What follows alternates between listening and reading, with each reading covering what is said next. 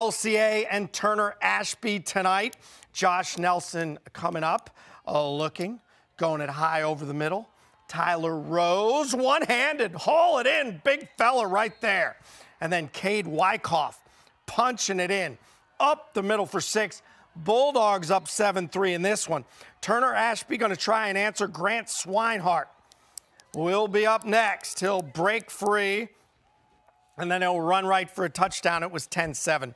But f- frankly, it was the Bulldogs who come back and they get it done. 21 16, your final. They